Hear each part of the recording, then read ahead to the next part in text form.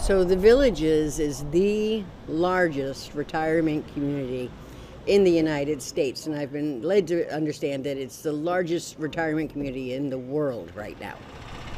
We moved up here um, just to find something more family friendly, conservative, more space, um, slower paced for our young kids, um, more land, things like that. And um, we like it up here. It's just been an adjustment.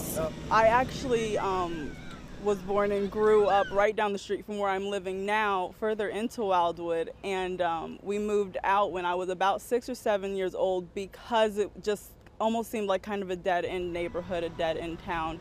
And after I grew up, got married, and um, moved back, it was just, it was like you were coming to a completely different town. It was almost starting to become Orlando esque. The traffic, I feel silly talking about traffic in the villages because I've lived in cities where there's actually traffic, but there's traffic here now. Um, and with traffic comes more car accidents, and we're in golf carts, and there's more golf cart accidents because there's just such a crush of people here now. And as long as the villages keeps growing, people will will keep coming.